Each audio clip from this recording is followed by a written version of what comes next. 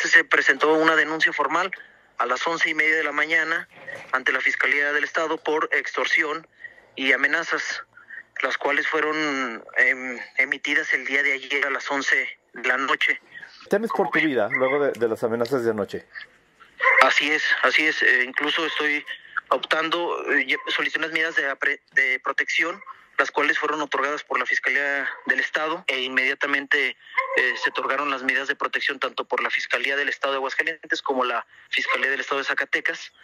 eh, y prácticamente las medidas de protección consistieron en que una patrulla nos va a estar acompañando aquí por afuera del domicilio, otra en el Tribunal Electoral del Estado de Aguascalientes y una patrulla allá en Zacatecas, tanto en el domicilio en el que radica mi papá como en, en el Poder Judicial en donde elabora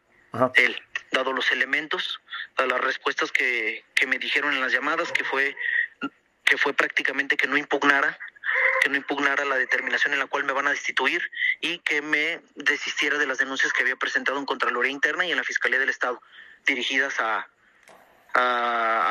o sea, de conductas atribuibles a tanto al magistrado Ociel, Jesús Ociel Baena Saucedo y Héctor Salvador Hernández Gallegos.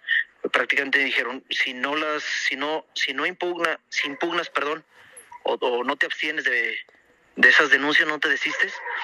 eh, vamos a darte un tiro en la cabeza o si no vamos a atentar contra tu, tu papá o tu mamá. Eh, de hecho ya sabemos que estás ahí en tu casa. Eh, entonces efectivamente yo ya estaba en mi casa es una pequeña privada de 11 casas. Estaba en la cochera e inmediatamente en cuanto ocurrió eso me metí a la casa y a los 5 o 10 minutos me, eh, les colgué, bloqueé el contacto y a los 5 o 10 minutos me marcó mi papá haciéndome referencia a que a él también le hiciera esa llamada y esas amenazas y que si y que si él no impedía que yo que yo eh, impugnara esa determinación o, o, me desistiera de esas denuncias, em, también iban a atentar contra él o contra su familia. Entonces, a partir de ese miedo, él presentó la denuncia también allá en Zacatecas, se presentó aquí en Aguascalientes. ¿El número telefónico que das es el de la unidad de, delitos cibernéticos? Así es, a partir de un error, como fueron los últimos contactos que tuve ahí en la agenda, eh, hice rápidamente el comunicado con el miedo, la zozobra de que estaban afuera de mí, supuestamente estaban afuera de mi casa porque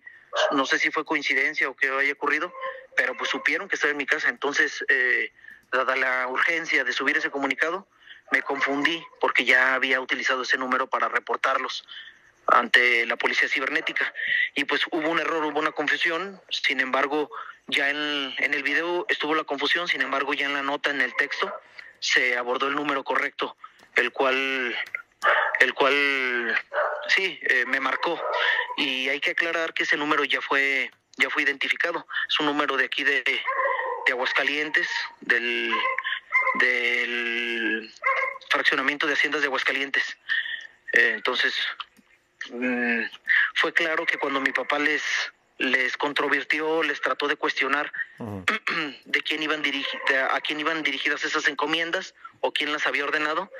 Eh, es claro que esta persona pues no supo ocultar su identidad y pues mi papá les cuestionó que iba de parte de Salvador Hernández y de Jesús Ociel y pues se asustó, se tartamudeó, se asustó y colgó la llamada. Entonces, si bien las denuncias se presuntaron a quien resulte responsable, lo cierto es que, eh, dado el contexto, es claro que, que esas llamadas fueron ordenadas por tales sujetos.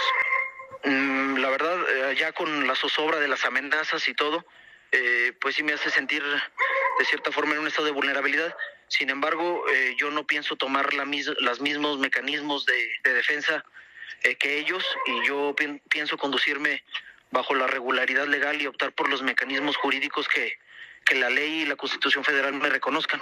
que es impugnar esa determinación en su momento, tanto